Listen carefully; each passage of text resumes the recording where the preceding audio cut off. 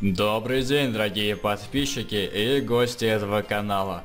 В этом видео я продолжу рисовать макап для игры, действия которых происходит в подземельях. И прежде чем я начну, хотелось бы упомянуть сообщество Холли Манки.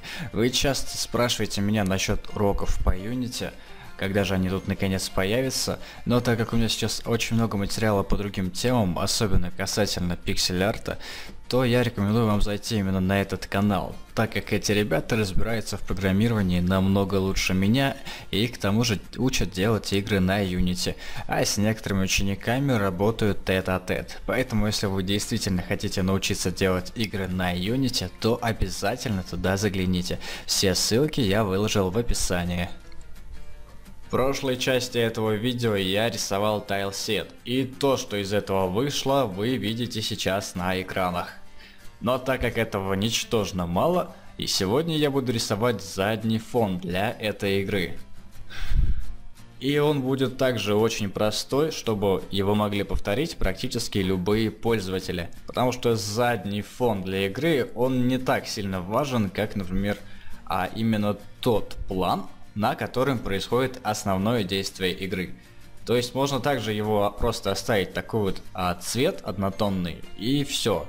Но так как это выглядит не очень интересно, то мы сделаем здесь кое-что поинтереснее. Тайлы у меня 32 на 32 пикселя каждый, то фон по соотношению, например, 3 на 1, точнее 3 к 1, а можно сделать 96 на 96. Но мне симпатизирует немного другой вариант, такой как 128 на 128 пикселей. И да, этот фон тоже будет тайлиться. Итак, создаю новый документ 128 на 128. Переношу его обратно а, на наш холст, и он будет занимать примерно вот столько места. Но так как он будет тайлиться, то это вообще не проблема. Итак, что же можно сделать а, такого, чтобы здесь все это нормально сочеталось? А, ну, во-первых, это может быть какой-нибудь пещерой, так как все-таки это подземелье. Либо это может быть реально какие-нибудь катакомбы, в которых есть, а, так сказать, архитектура. И во втором случае рисовать его будет гораздо проще и быстрее, поэтому именно так я сейчас и поступлю.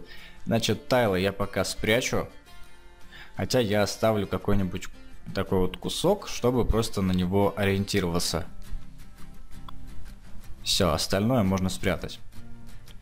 А далее кусок фона я делаю практически непрозрачным. И также кистью в один пиксель я его обвожу.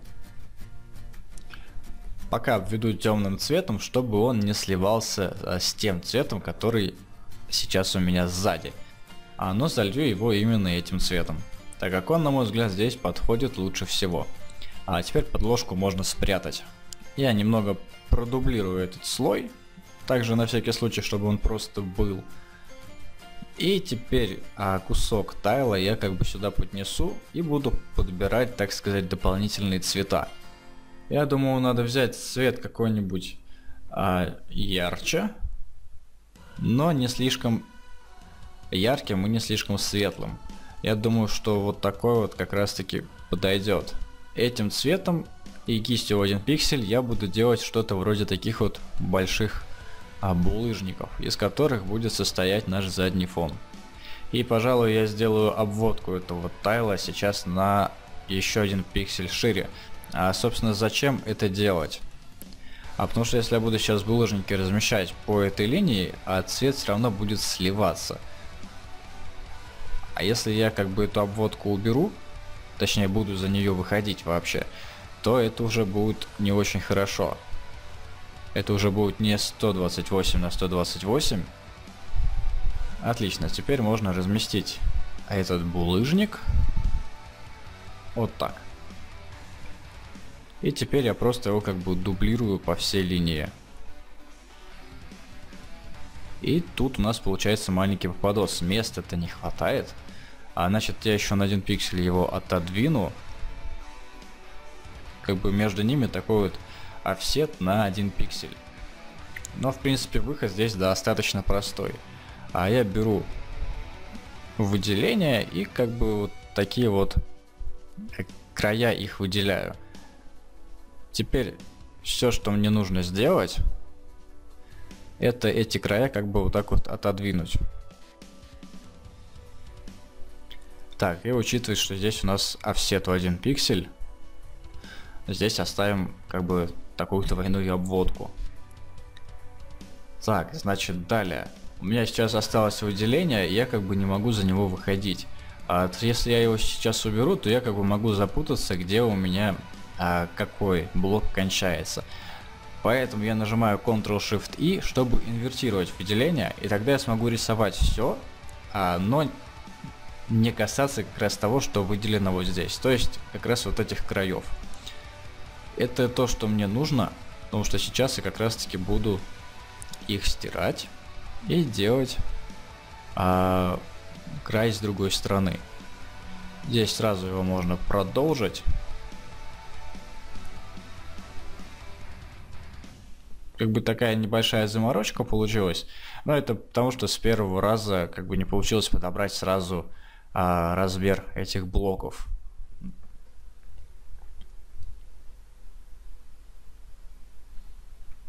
Отлично.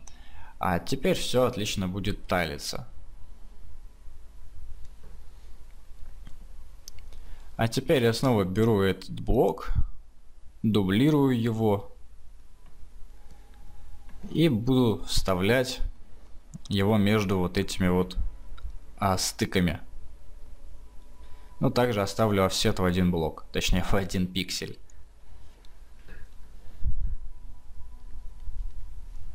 И получится также, что у меня здесь будет начало.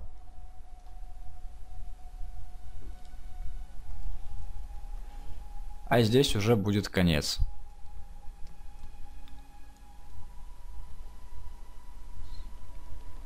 Можно сразу здесь залить точнее закрасить эту обводку, чтобы она не сбивала с толку. И теперь просто посмотрим, как это будет талиться. Потому что, возможно, я где-то накосячил. И чтобы убедиться в том, что все нормально, я просто здесь проверю. Так, мне нужно по горизонтали его тайлить. Окей. Все, в принципе, отлично тайлится, без проблем абсолютно. Единственный момент, что один из этих блоков как бы всегда меньше. То есть, например, вот этот, вот этот.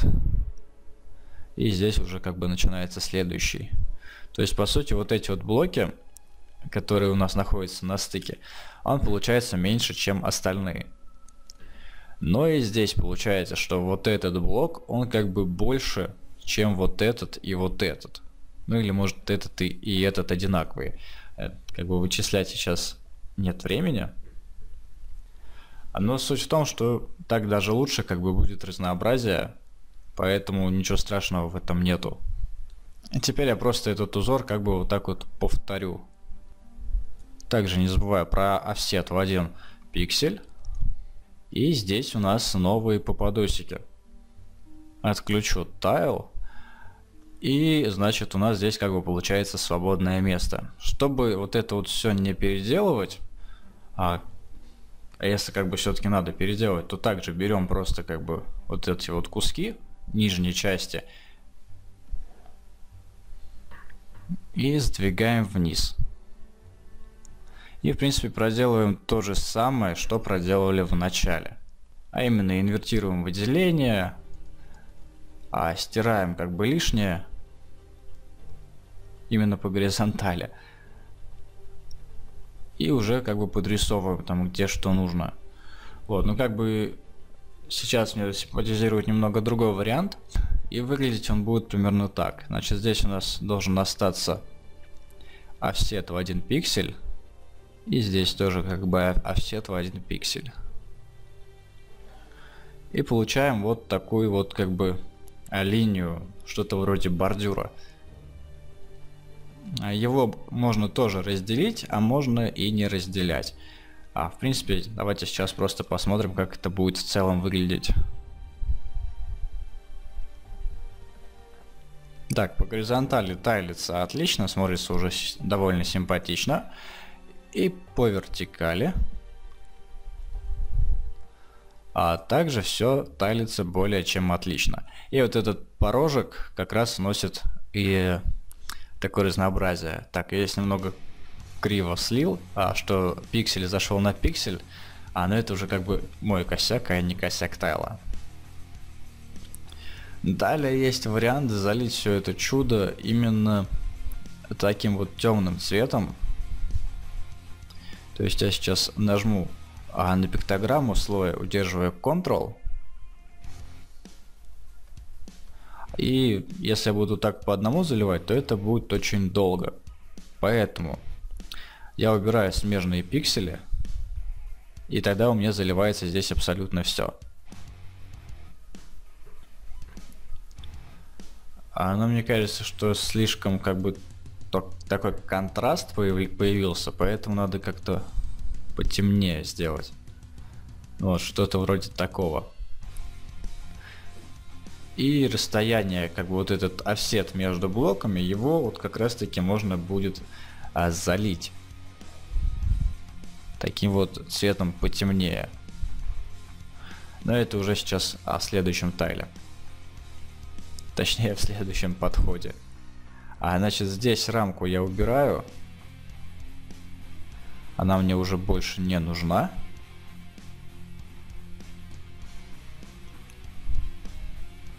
И пока не забыл, что здесь у меня тоже как бы офсет в один пиксель, я сразу здесь а, вот эти вот промежутки между блоками, я их закрашиваю темным цветом. И в принципе вот эти булыжники, их тоже можно сделать цветом потемнее.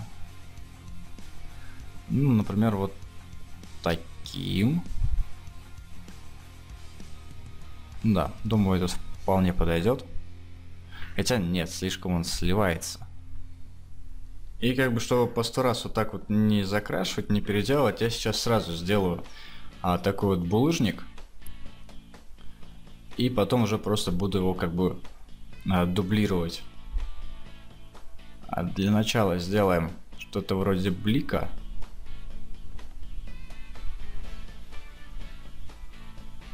Вообще свет, по сути, типа там лава, факелы и все такое подобное. То светлую часть, пожалуй, лучше сделать как раз внизу. А слишком светлый цвет подобрал.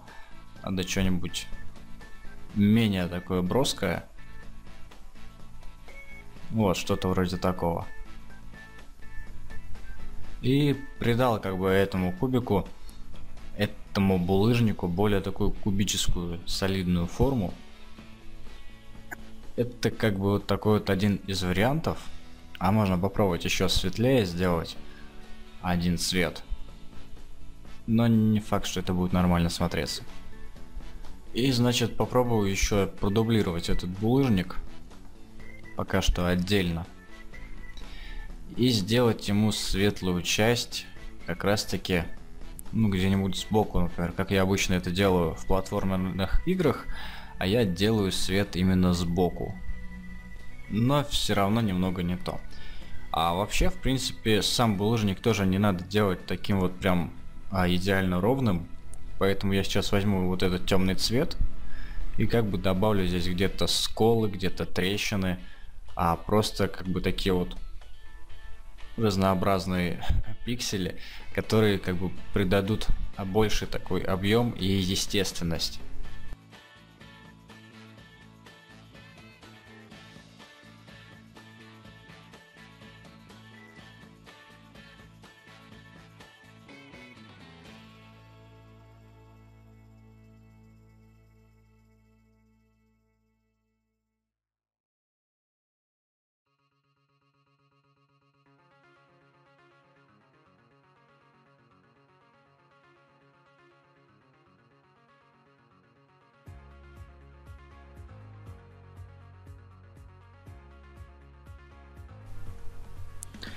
Вот, в принципе, в более крупном а, варианте как бы уже выглядит а, достаточно неплохо для заднего фона. Но как бы на этом останавливаться я сейчас не собираюсь. Поэтому я сейчас этот блок отдельно как бы оставляю. Остальное все удаляю. И значит а накладываю его уже вот сюда. То есть по вот этому, так сказать, узору.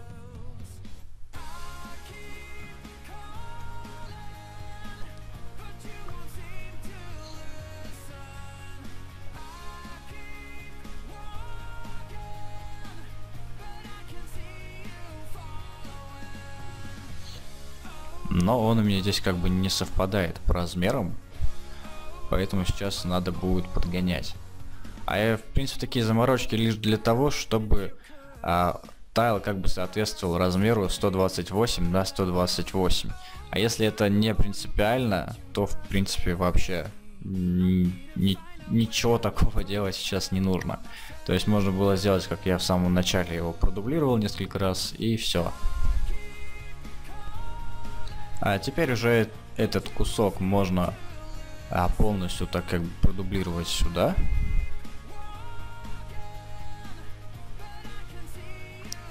И еще сюда, раз он здесь повторяется. Отлично. Я, пожалуй, также залью а вот эту нижнюю часть, а, допустим, вот таким темным цветом.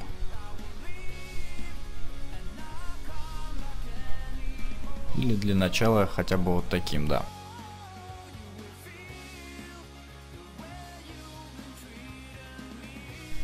А теперь а, есть два варианта. Значит, а вот в этих вот, а, так сказать, отсеках тайла можно сделать кирпич немного другой формы. Ну и точнее просто его как бы разнообразить. Либо просто также по кускам а, его копировать и вот вставлять. А, только у меня здесь офсет немного не совпадает, как бы здесь 2 пикселя, а здесь 3. А, поэтому надо в этом месте, например, а, выделить опять же вот эти кончики и сдвинуть на один пиксель. Хотя я даже сделал так, нажму Ctrl-Shift, точнее Ctrl-Alt и удерживая Shift теперь вот так вот на один пиксель перемещу. А все, отлично.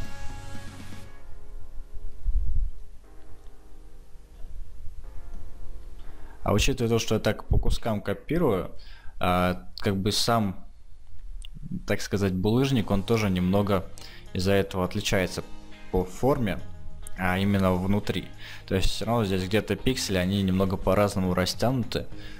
Вот. И такое вот ми минимальное разнообразие. Но тем не менее мы его сейчас еще немного разнообразим по форме. Именно вот этих вот а, бликов света. Чтобы он выглядел интереснее и более разнообразным.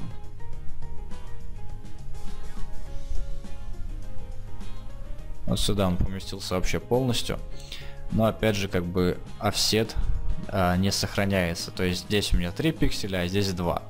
Поэтому придется здесь тоже вот так вот удлинить. И теперь снова немного нудная часть, как бы я этот кусок а, дублирую.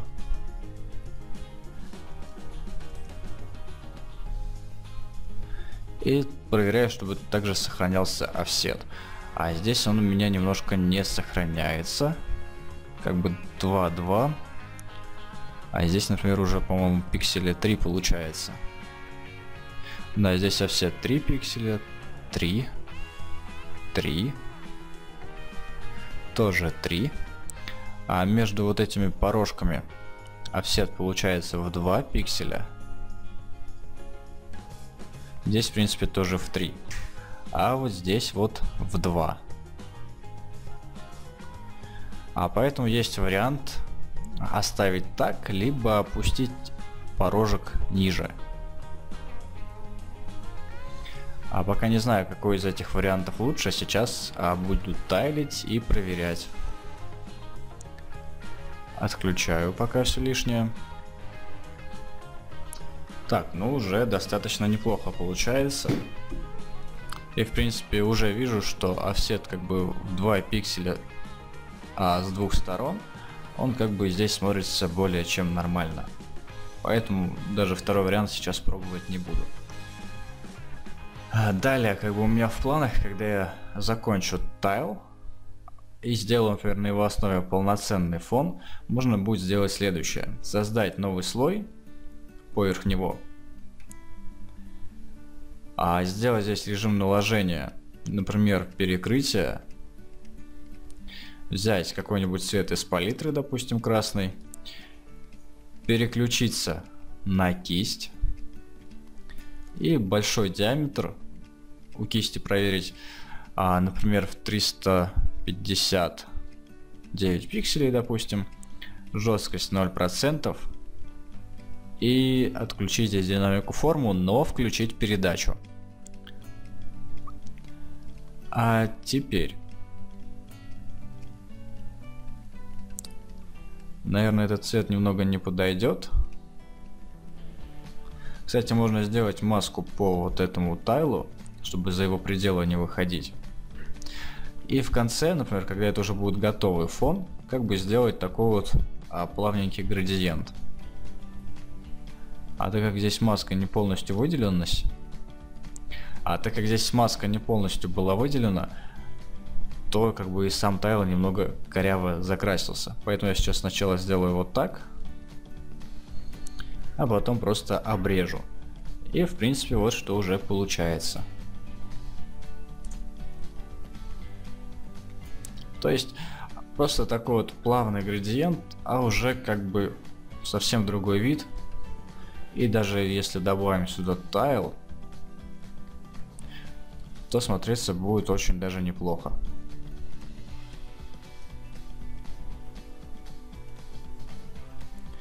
Отлично. Тайл пока отключу.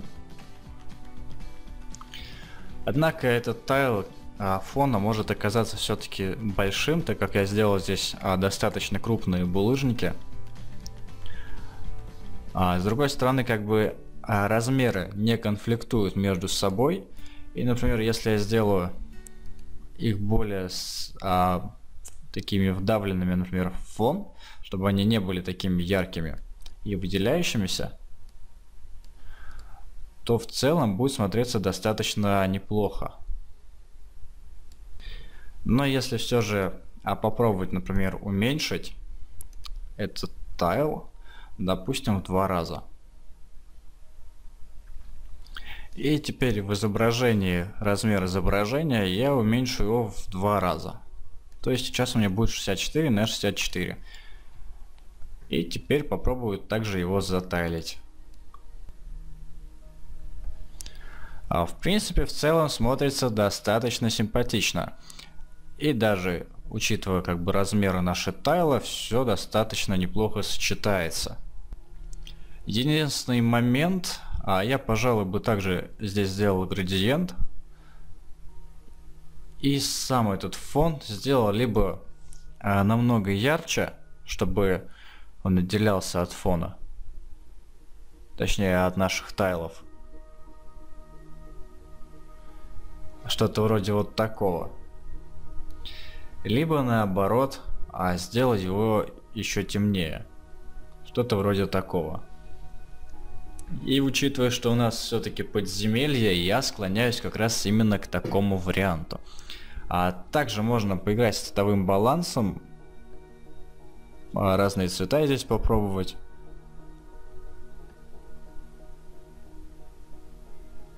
А я как бы стараюсь придерживаться такой вот лиловой, фиолетово-розовой палитры. Кстати, в принципе, неплохо смотрится этот вариант. А, так. И также можно поиграть с цветовым тоном и насыщенностью. То есть тоже здесь попробовать. Ну, что-то вроде такого. Мне, в принципе, такой кирпич поменьше, нравится побольше. И смотрится, на мой взгляд, намного лучше.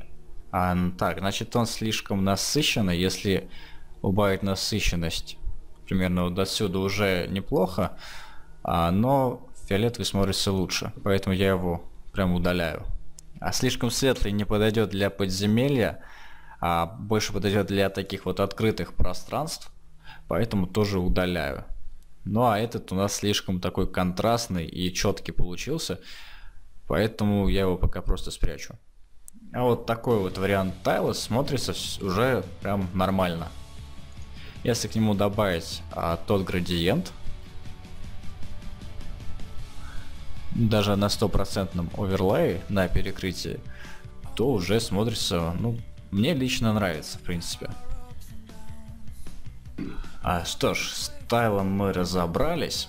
А разве что теперь нужно наш как бы оригинал тоже подогнать. А, так. Вот он вариант 64 на 64 пикселя. А, кстати, в таком виде его можно использовать прям как элемент тайлсета. Что я, наверное, и сделаю. Но это уже потом. А сейчас а, отключу пока оверлей. Вот, ну на самом деле, в принципе, можно так и не заморачиваться, а сделать вот так. Я просто помещу сейчас этот тайлсет, а вот так вот в угол. А теперь я его просто отключу. От... Перейду на слой с вот этим тайлсетом. И значит, а выделение. Я выделю просто а, вот этот кусок тайла. И все. Так, здесь немного промахнулся. Вот так вот, пиксель в, пиксель. В пиксель. А и теперь просто нажму Ctrl-G. Все, теперь у меня есть такой же кусок тайла и ничего подгонять не нужно. Такой вот маленький трюк. Значит, цвет фона и вообще тайл фона мы сделали. Теперь нужно сделать полноценный фон. Итак, я создам сейчас документ, допустим, 800 на 480, например. Или стойте. А значит сейчас размер комнаты у меня 640 на 360. Ага. И значит и этот телосет я теперь вставляю именно в этот новый документ. И просто его, так сказать, дублирую на весь холст. Итак, я затайлил а его на весь документ, получился как бы такой вот однообразный фон. А теперь я также скопирую сюда тайлы, чтобы как бы иметь представление, как это все будет а, сочетаться вместе. И пока просто вот сюда помещу. А теперь мне нужен а, тот цвет, которым я делал, собственно, градиент на этих тайлах. А, значит, здесь перекрытие прохожу на обычный цвет, и как бы он у меня все равно здесь сейчас непрозрачный. Поэтому я его просто дублирую несколько раз, пока не появится как бы такой вот а, солидный цвет. Ну, в принципе, вот он. А, все, беру, просто беру его пипеткой. Перехожу обратно на наш документ с фоном. Создаю новый слой.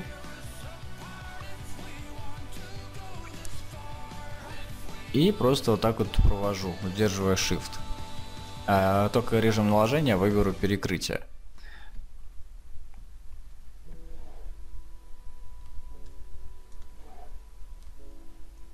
Здесь сначала не сильно буду, а как бы нажим делать, а внизу уже посильнее. Вот так. Получился вот такой вот плавненький градиент.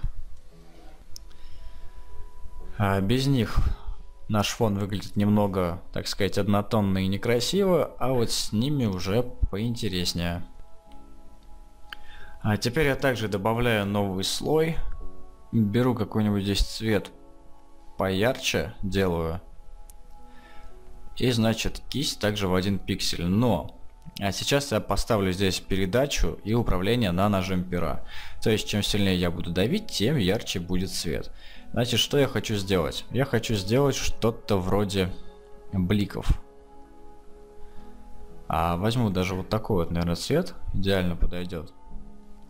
И, конечно, можно было бы сделать отдельный тайл, где я, например, всего лишь несколько раз вот так вот провел бы кисточкой и просто продублировал. Но так как я понял это слишком поздно, мне придется прорисовывать это на каждом гребаном кирпичике.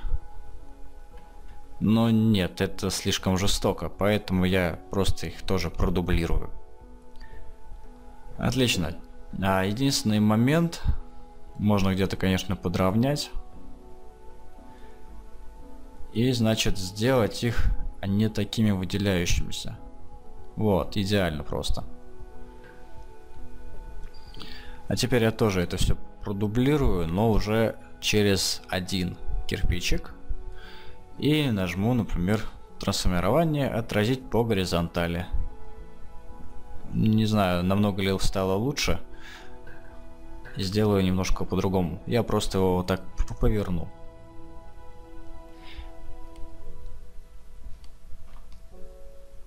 Вот так. Теперь они хотя бы немного отличаются. Так, и то же самое теперь нужно сделать с вот этими кирпичиками. И также их теперь продублирую, чтобы сэкономить себе время.